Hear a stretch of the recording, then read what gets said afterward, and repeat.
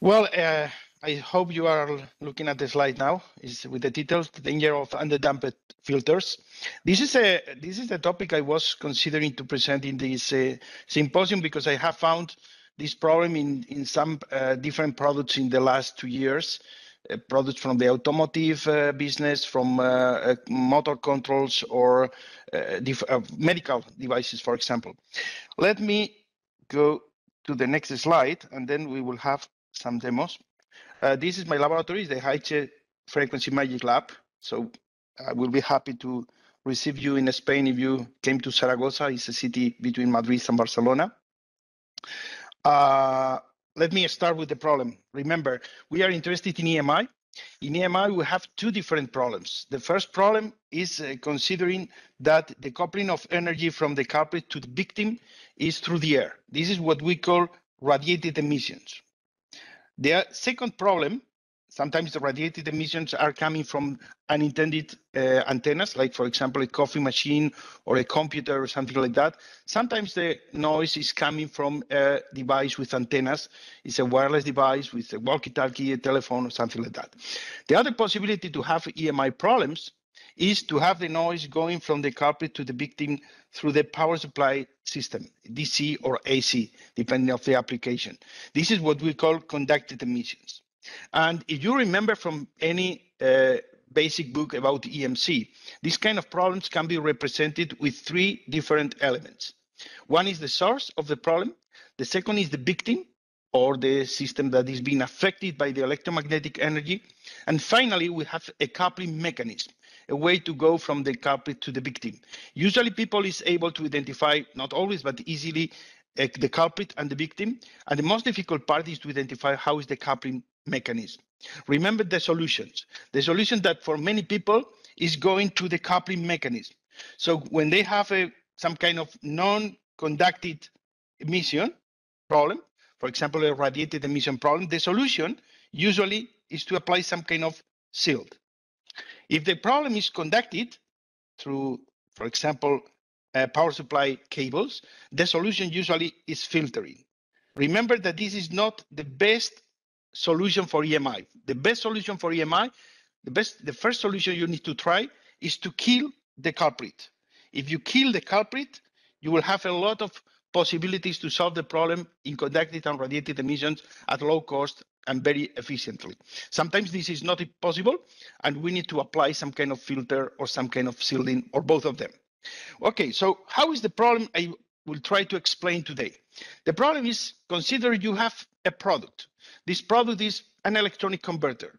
It's a product with a transistor, IGBTs, or something like that, and it's working with a EMC filter in front of the uh, power supply system. The system is uh, including this uh, filter, It's a pi filter, for example, or LC filter, something like that, with big inductors, big capacitors. And the idea is how this filter was designed. This is what I have found in my experience. The first possibility is that many people is using the same filter that was working in a previous model of the product. So if the previous model of the product was uh, complying with conducted emissions, they take the same filter, they introduce in the new model, and they try to uh, pass the test. If they don't pass the test, they start to tune the components. They add a capacitor or increase the value of a capacitor or increase or decrease the value of some inductor, something like that. How is the second possibility? The second possibility is to apply some kind of trial and error process. We start to introduce capacitors, inductors, as we can until we try to go below the limits. This is dangerous because sometimes you will not obtain a good result or sometimes your filter will be bigger or more expensive than needed. We have an additional possibility is we try to replicate the filter that was working with a competitor. Uh, I don't like that solution, but perhaps you are trying this. This is not a good uh, or elegant way to solve the problem. The, the next solution could be to use a commercial filter. Many people think that using a commercial filter is expensive.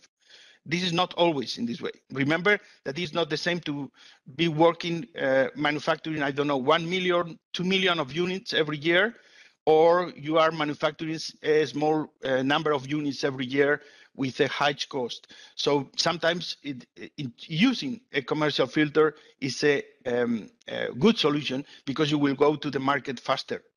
And finally, the option number five is to design the filter from the scratch.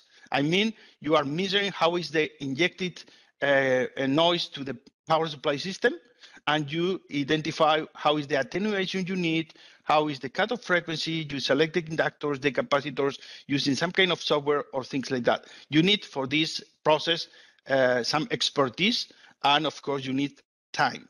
But in the same way, you will be learning how to design filters. So my recommendation is to try always option five, but if you are uh, not uh, on time, perhaps you need to go to some of the previous solutions. Three important things about filters I have found in my experience. The first one, people design this kind of filters only for emissions. They are worried about uh, passing conducted emissions test. Remember, filters are good for immunity. If you design the filter considering both emissions and immunity, probably you will need to apply less uh, components for protecting uh, with uh, high voltages or transients.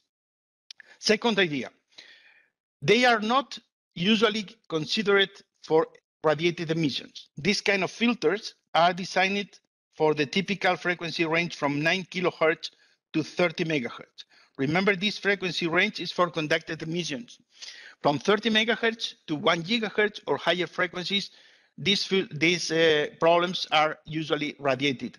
And the design of these filters could be done for the frequency range from 9 kilohertz up to, I don't know, uh, perhaps 100 megahertz. So in this way, you will be able to control or to limit how much is the frequencies that from 30 megahertz to 100, 200 megahertz are going introduced to the mains cable. The mains cable is a very important antenna in your pro in your products. So many of your radiated emissions problems, especially with power electronic converters, will be in the frequency range from 30 megahertz to uh, 60 or 100 megahertz. And finally, be careful about using low cost components. I have found many times that we try a solution with a good component where you have a good model, a good behavior, I don't know, in parasitics, in uh, saturation, or things like that. And many people try to go to a low cost equivalent. Be careful about finding equivalents that are low cost. Not always they will work in the same way. So the, the idea is I have this situation. This is my product. And in front of the product, I have a filter that was designed in some of these ways. Let's go to the uh, EMC laboratory and we try to pass immunity. What happened in immunity? The, in the laboratory, we are applying a high voltage peak at the input of the system, and something in your product is destroyed, usually semiconductors, your transistors, your diodes, IGBTs, things like that. No? Remember that in the protection for transients, we have three different solutions. The first solution is to introduce some kind of clamping device. Clamping device usually are varistors or TVS diodes. The second solution is to introduce some kind of crowbar device, something like gas discharge tubes or SCRs or something like that. And finally, the next solution or a combination with the previous is to introduce the filter. So in some way, the transient has high frequency content. So with the low pass filter, we can limit how much is the uh, energy that is going to the device. But in this case, it's not possible. We apply a transient and the device is destroyed. Remember, this filter was designed for EMC conducted emissions, not for immunity. So let's go to your solution. You consider, oh, let's introduce in front of the EMC filter a varistor. With a varistor, I will be clamping the maximum voltage to some kind of value that is safe for my semiconductors. For example, if your semiconductors don't work with voltages over 900 volts, you need to limit the voltage to the voltage to 900 volts. You can introduce here a 600 volts varistor to protect the, your devices. And then you go to the laboratory. And in the laboratory, you with the varistor in place, you fail again. You look at this position, this voltage, and you find that the varistor is working as expected. So we are clamping in 600 volts, but the devices are being broken. This is what we will try to explain today because many people don't understand how it's possible that with a 600 voltage maximum input, you are destroying the varistors, or sorry, the, the uh, semiconductors in your electronic device. And I will try to explain this with two demos. Eh? I hope we will have time for the two demos. One is with simulation. I'm going to use LT Spice. And in the LT Spice model, I will be trying to apply a high voltage transient and my uh, electronic circuit will be very, very simple. You can see here the basic model before opening LT, LT The first things to consider is the input voltage. The input voltage is a 230 volts, 50 hertz uh, power supply from line and neutral. Okay, I, this is, I am not working the three-phase option of my model. This is a coupling decoupling network. It's used to avoid the transients I am going to generate to go to the mains network. And with this box here, I will be creating a transient like in the laboratory. Eh? Really, I am considering to use something like 61,045 uh, uh, limits. The, my device is something like this. It's a very simple circuit. It's a, a diode bridge with a small capacitor and a resistor. Obviously, this is a linear circuit, and this circuit will not be creating noise so we perhaps we don't need the EMC filter in this application. But I am not interested in creating a, um, a complex circuit switching, so my simulations are uh, longer. I am trying to demonstrate how I can affect these diodes. So my victims basically will be the diodes in the uh, diode bridge. You can see here the EMC filter. My EMC filter, you will see the uh, details later, is something like this. It's a common mode choke that is trying to filter common mode noise and a couple of X capacitors. Okay, so I'm going to apply a transient between line and neutral. And this transient, in theory, will be affecting to my diodes in the sec in the output of the filter. Let's try to go to the simulation. Let me open the LT Spice option okay, here. Step one, let me show you the transient here, okay? This is my basic circuit. Remember, power supply, CDN, the coupling decoupling network, the transient generator, and the output of the transient generator. We run the test, and then we see how is the voltage here. Okay, let's go to this window and you can see, I have a 300 volts in peak sinusoidal 50 hertz signal. And at some point, I have the transient. It's a two kilovolts transient. Okay, we can see the detail of the transient where we have some kind of ringing. This is typical related with inductances and capacitances in the circuit. Let me close the transient generator and let me open the second step. In the second step, let me go here, uh, here. In the second step, whoop,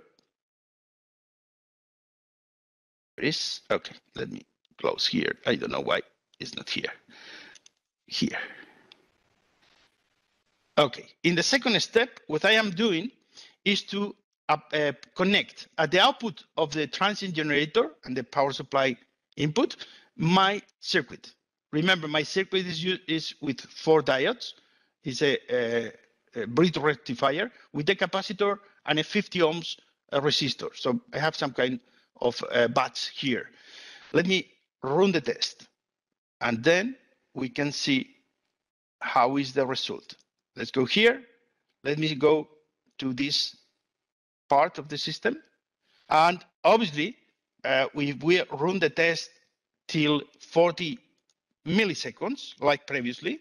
Let me return to another simulation.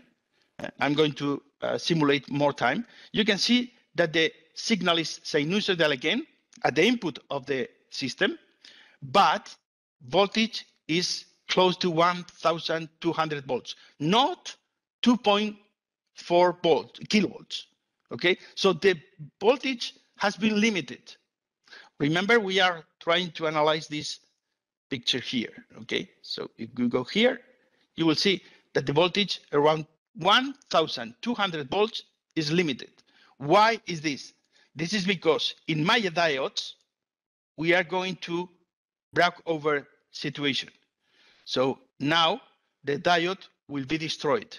This is the voltage, the blue color is the voltage in the diode in reverse. So you can see how much is the current in the diode. The current in diode is going to more than 140 amps and the diode will be destroyed. So this is the typical situation. If you put these diodes in front of this test, the diodes will uh, be destroyed. Look at this.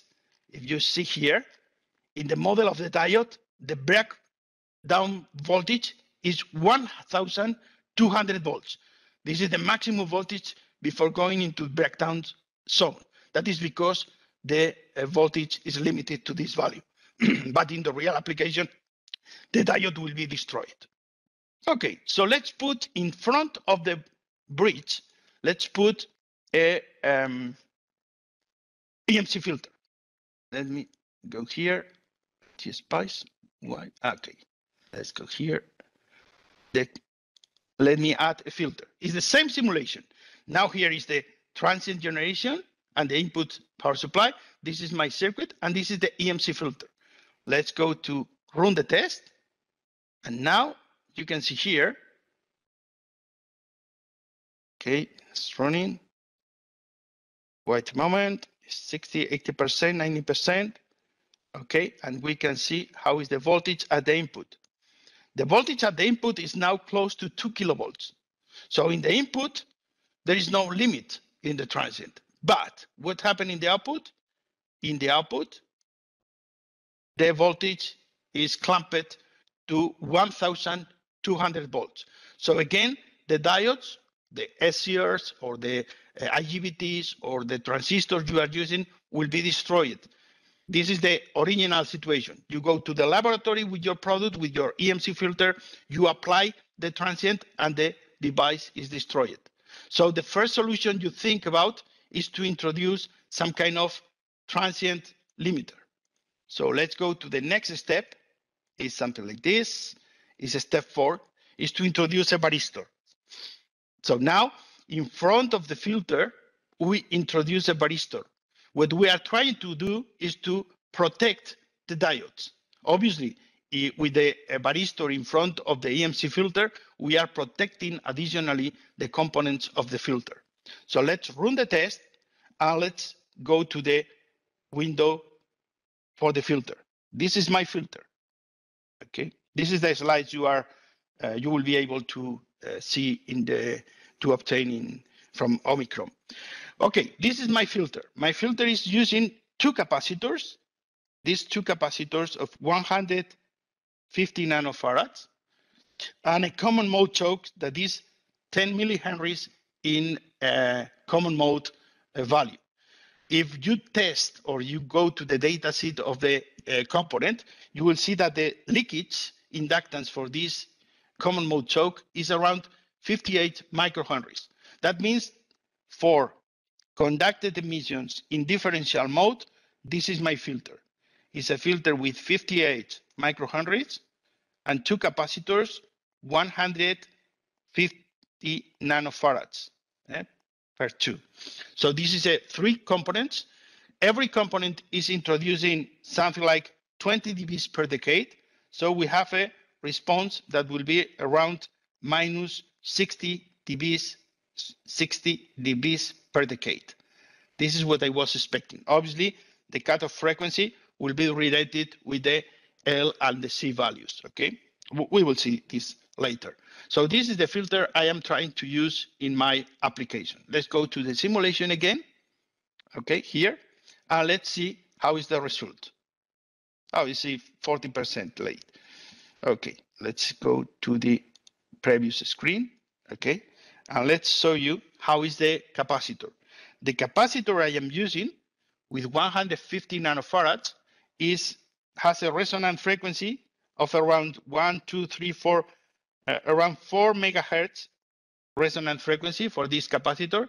Is a capacitor with a very low ESR. It's a HQ component, and this is the impedance of the inductor.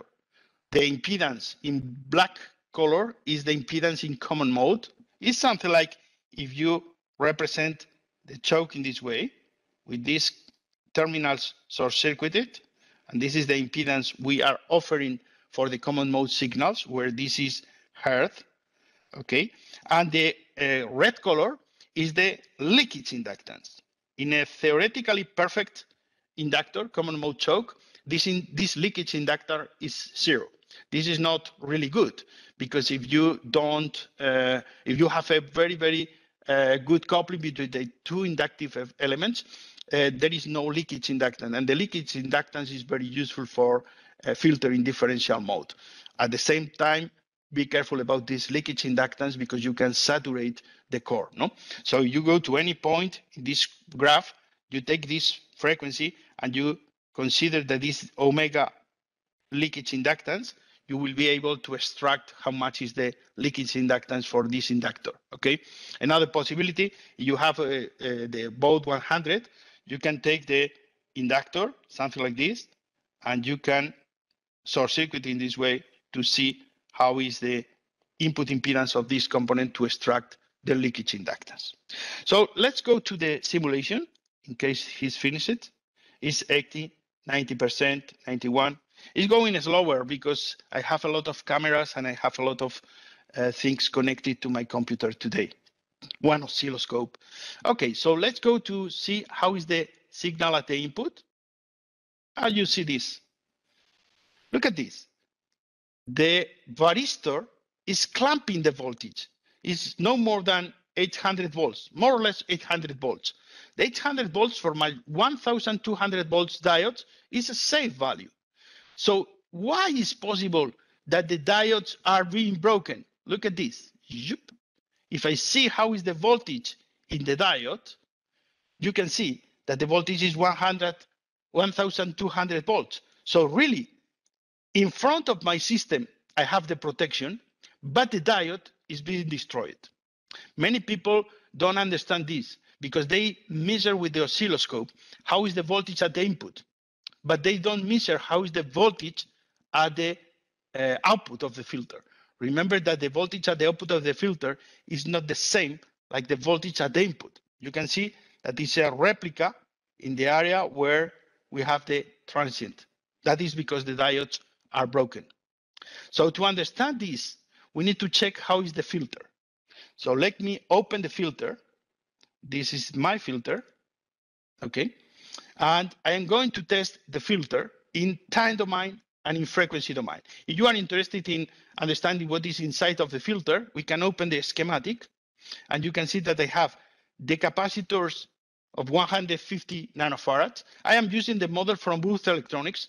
Uh, this You can find this uh, model in REDEXPERT, uh, the website of uh, Würth Electronics. So this component really is the component including the parasitic inductance and the parasitic uh, resistance, the ESR. And this is the model, the full model of the inductor. Remember that what we have inside of this box is this response. If we go to the previous slide, is the response we have seen in this picture.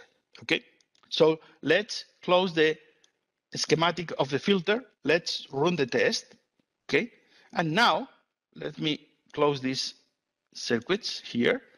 And let me put both windows vertically. And we can see, oh, sorry, this is not the output of the filter. The output of the filter is this one. Okay, this one. Okay, this, this, ah, uh, let me remove this one. Okay, and then is the voltage between the input terminal, the output terminal. And let me remove the uh, phase. Let me remove the, this Let me remove the phase. Okay. So you can see here how is the response of the filter. The response of the filter is zero dBs in the low frequency range. That means these frequencies are passing without being affected. And we have the slope in attenuation until we arrive to the resonant effects created by the parasitics in the components, in both the capacitors and the inductors. But look at this.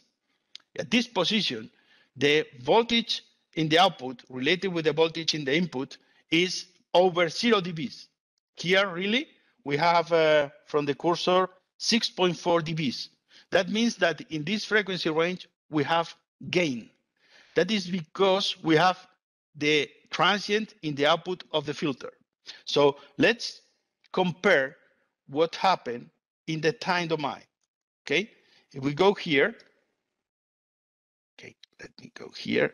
We select the AC analysis like a comment, and we open the transient analysis to create a, a view of the uh, response of the filter when we apply a step response at the input. We can run the test, and you can see that if this is the input, this is what we are applying at the, sorry. If this is the voltage we are applying at the input, is a step response. I am introducing one volt. Eh? This is the output of the filter. Okay, you can see that because the system is under damped, we have this value in the output. So when we have a volt, a, a transient at the input of my power supply, and this transient has a high DIDT, the response of the system, because the filter is underdamped, is in the output bigger than the input. This is what is happening. In our application, we have 800 volts limited by the clamping action of the varistor. But in the output, the voltage is going over 1,200 volts. Really, the diodes clamp the system, but they are broken. So how is the solution for this problem? This problem is very related with the problem you can read if you are interested in DC-DC converters, no? Like when you are designing a buck converter and you want to apply the stability criteria from Middlebrook, no? You know that the input filter must be damped. So one of the solutions for this problem, that is not the same problem of instability of the DC-DC converter, the idea is to introduce some kind of additional uh, losses. Typically, you can introduce losses in the inductor, you can introduce losses in series with the inductor, or you can introduce losses in the output. Eh? A typical solution is introducing a capacitor in, at the input that is in a value that is uh, perhaps five to 10 times the capacitor inside of the filter. So if the capacitor in the filter is 150 nanofarads, I am using a 560 nanofarad capacitor. And with a resistor that is related with the characteristic impedance of the filter. Really, the value of this resistor is the square root of L over C, where L is the value of the inductor, the leakage inductance, and the C is the value of the capacitance. So if we run the test, what we will get is something like this. If this was the previous result, remember the input is something like this, remember that now we will have this. So we have this under damped, pardon, sorry, damped uh, ringing, but we are not losing the uh, attenuation in this area. Remember that if you try to do this solution, something like this, if you try to do this, if this is your filter, and you try to introduce the losses in the output capacitor, the advantage is that you are uh, saving one component. But remember, in high frequencies, the response of the filter goes from a third order filter to a second order filter. So you will lose 20 dBs per decade. So it's better to introduce a new capacitor here with a resistor in place. This is the damping network. This is the value of the capacitor. This is something like 10, five times this capacitor. You can try by simulation. Obviously, you can uh, do this mathematically with equations, but sometimes because you have resistance in the inductor, ESR in the capacitors, it's not very easy to uh, apply mathematics, and simulation is very useful here. And this is the damping resistance that is more or less this value. So you obtain a Q equal to one. That means there is a damped situation for the resonance circuit. And this is what we will try. We will try here is to open this system. Uh, let me see, applying damped system, and we will try to run the test. Okay. Okay, because it's something slow. Remember, I am I have the oscilloscope, the cameras connected to my computer. Let's uh, run the test and let's go to the laboratory to show you something similar in real time. Okay, so this is what I am going to show you. This is a filter with a capacitor and one inductor. My capacitor here is around 150 nanofarad. My inductor is around one uh, millihenry, really 90, 965 microhenries in a small PC board, nothing more. So I can connect and disconnect easily. What I'm going to use is Bode 100, so you can see how is the response of the filter. Right? Because the uh, load for this application will be one megohm, because I will be connecting to the oscilloscope. Let me put here a one megohm resistor that is the load impedance for my circuit here. Okay, this one megohm resistor. Then the output of the Bode 100 is connected to the input of the circuit. The channel number one of the Bode 100 is connected to the input of the circuit. So we are able to see how is the voltage at the input. And the channel number two of the Bode 100 is connected to the output of the filter. Okay, something like this. So you you see here the connection. And now let me open baud 100. Bode 100 is here. Okay. This is the software. Okay. And let me open here. This is the, let me open the file for the gain, the filter response. I have pre-calibrated the response of the cables. It's not perfect now, but I hope you will be able to see the response. Okay. So let's go to uh, from uh, one kilohertz, something like one kilohertz, for example. Okay, okay, okay. You can see here the response of the filter with a strong uh, peak under damped. Let me save this in memory. And what I'm going to do now is to put in parallel with the output capacitor, we are going to connect a capacitor that is bigger inside I'm going to use, oh, sorry, this is the LTspice. This is the electrolytic capacitor with uh, some ESR. Sometimes the ESR of the electrolytic capacitor is good for this purpose, not in this case. So I need to additionally introduce this resistor. This is a resistor of around 80 ohms. That is the value of resistance we need for damping this response. And then we can run the test again. Okay. Oh, yeah, I know. Let me let me remove. I forgot. I this is a mistake. I switched input and output of the filter. Okay, so let me connect again. Let me put this camera so you can see here additionally. Okay, let me connect the input. The input of the filter is this one. I switched input and output. This is channel number one of the Bode 100. This one. And this is channel two of the Bode 100 in the output in the load resistor. Okay, this way. Okay, and then let me run again the test. Oops. What is this? What happened? Let me see. This is the input. Mm -mm. And this is the output. Is correct. What is wrong here? Yep. What is this? Let's access. Ah, now. Let me. It was a problem with uh, auto optimize. Now, Okay, perfect. Sorry. Let me update the memory. So this is the response of the filter and we have in memory now. And let me introduce the electrolytic capacitor in parallel with the capacitor in the output and the resistor. That is remember 80 ohms in value. It's the same circuit i have explained before. So this is the response. Okay? You can see how is damped this way. Let me go to the simulation here again and you can see that in this window we see how is the voltage at the input okay? It's 800 volts and look at this. This is the damping network in the output of the filter. So now the output voltage is something like this.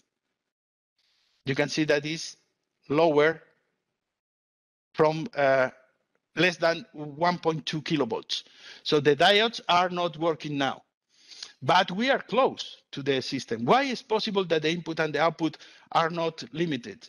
This is because if, you, if we go to the response of the filter, our previous simulation, this one, testing filters, no, sorry, file, open the damping filter, you can see that the response of my damped circuit was not perfect. Okay, if we go here, in theory, this response is damped. But if you make a zoom, you will see that there is no perfect zero dBs here. So we have some kind of ringing. Eh? We need to uh, try a better damping network. But at least in this situation, the circuit, the diodes will not be broken. Okay.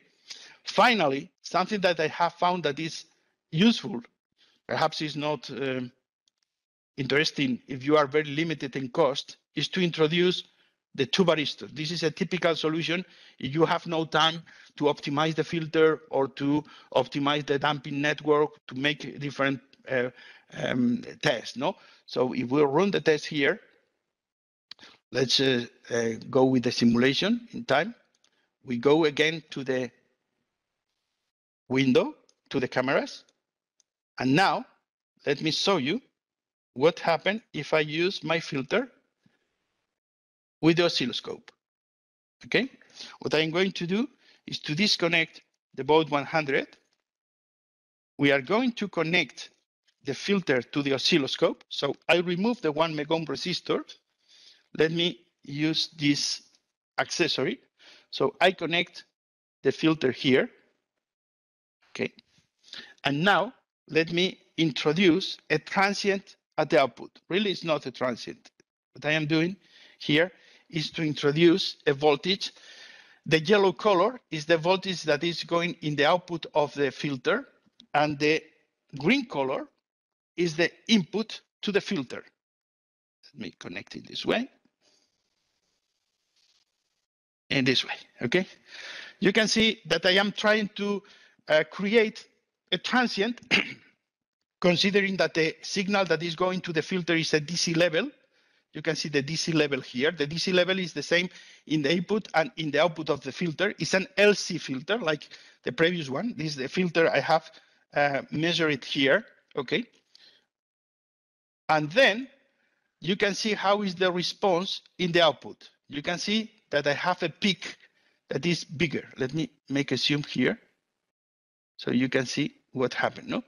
So now I am going to um, apply a clamping device at the input. Remember, the input is the green color. Consider that the input must be below 5.6 volts. So let me introduce a transient protector. Okay, you can see that with the transient protector in front of the filter, the maximum voltage is clamped. But in the output of the filter, we have a very big peak. This is the peak that can destroy the systems inside. If we introduce a damping network, the previous damping network with the electrolytic capacitor and the 80 ohms, we get something like this. No, so the we are damping in some way, not perfectly, because you have seen here that the damping is not perfect. Eh? We have a small quantity over zero dBs, but at least the electronics is safe. If we go to the simulation now with the two uh, with the two uh, varistors, uh, we will be able to see how is the response, but it's not finished, and we are on time. So it's it's a we are in a 37% of um, simulation. So I think it's time to finish